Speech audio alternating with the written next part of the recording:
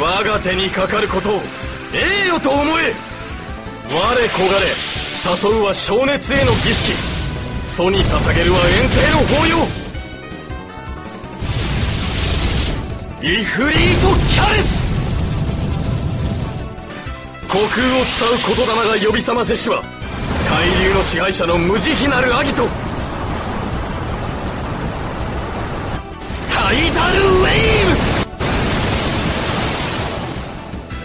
高価なき混沌浄化なき漆黒。無の牢獄に囚われし赤眼の巨神に我は問う。クリシード・グラビティ。絶望の深淵に耐えたう冥王の玉ぼこ。うつ潮のしるべを照らすは赤星の剣敵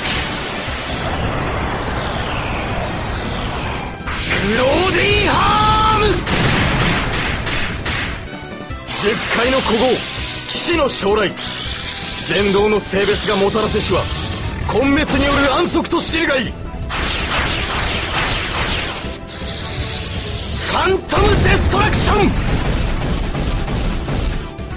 我招く無音の勝烈に慈悲はなく汝にあまねく役を逃れる術もな